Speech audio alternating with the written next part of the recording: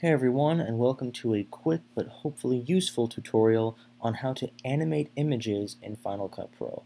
Now this is something that you can use to just make your videos more interesting or make them a bit more professional, unless you're me. It's a very useful skill that I learned really late down the line, not because it was difficult, but because I just didn't know where to start, and it's actually quite simple.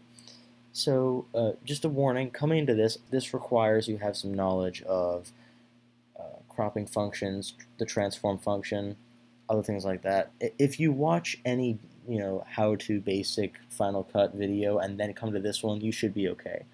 To start off, we have our images. Uh, they're already PNGs of dolphins. So here's our clip of an underwater sun ray thing.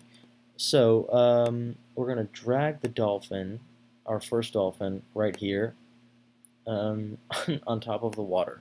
So as you can see, it's just an image. But this can change using a special feature called animation. So if we click on this, which is the transform function, uh, this is where you'll, you know, make the image move its angle or, you know, um, change its size or whatnot. This is a very useful tool. What most people don't realize is that right up here is a little section which is so small yet so important. And uh, this is the animation section. So what we're going to do, first of all, before you do anything, you want to bring your image, just in transform, to where you want your picture to start. Now, first off, we want it to be a bit smaller since we're going to have two dolphins. And we're going to want it at a bit of an angle swimming because I don't think dolphins swim that way. I'm not sure. Um, and then we're going to want to drag it off because we're, we're, what we want in this case is to have the, uh, the dolphins, almost said dragons, the dolphins swim by the screen. So now the dolphin's completely off. Make sure to always have a bit of this, um, of sort of the outline of the image available to you because if you bring it off screen you can't animate it because you can't get to it and move it around. So always have a little bit like this. Um, now what we're going to do is we're going to press this button up here.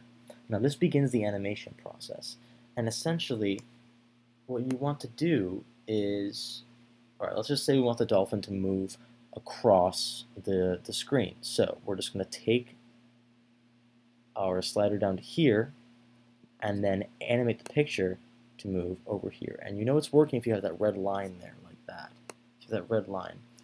Um, here we go. So now the dolphin should swim across the screen during that time. Alright, great. So that worked flawlessly. Um, now, the final thing we want to do for this dolphin is not only have it swim across the screen, but also have it do a flip. So what we're and so what we're going to do is we're going to use our knowledge of the transform function to have it go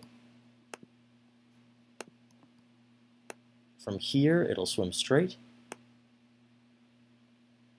but then at this point we want it to spin around and notice the angle the rotations there up at the top and then come through here. And you'll notice those points up there have been marked with each thing we've done. So I, this should work now. so it kind of spun on there.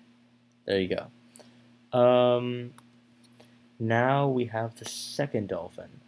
And essentially we're going to do pretty much the same thing, but we're going to have this dolphin uh, come in from the top and rotate in the uh, and swim in the other direction. So we want the dolphin to come from the top, so we're going to change its angle.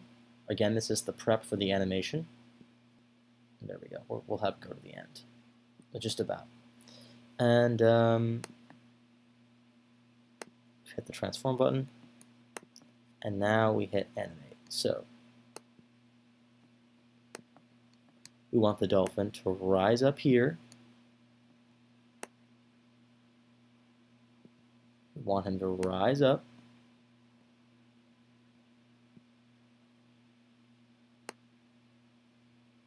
Oops. sorry, got ahead of myself there. We want him to rise up, and upon this one landing, we want him to spin this way, and then go off to the side. So we want him to spin up and go off to the side. And this should technically work now. And there we have it. We have our dolphins. So, I, I hope that was somewhat educational to everyone, uh, although it does look a bit odd.